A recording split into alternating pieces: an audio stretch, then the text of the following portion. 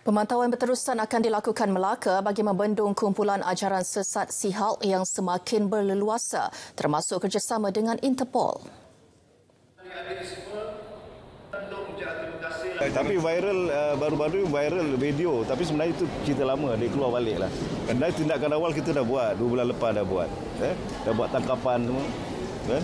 Dan juga dah minta bantuan daripada Interpol untuk menesan uh, dia punya pengasas founder dia yang berada di luar negara.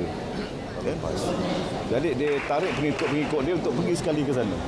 Dia tahu dekat sini susah, kan? maknanya susah untuk membuat aktiviti. Jadi dia cuba buat dekat luar negara pula.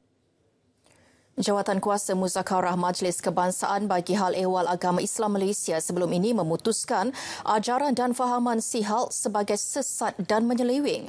Mana-mana pihak menyebarkan ajaran itu boleh dikenakan tindakan mengikut enakmen kesalahan jenayah syariah negeri-negeri.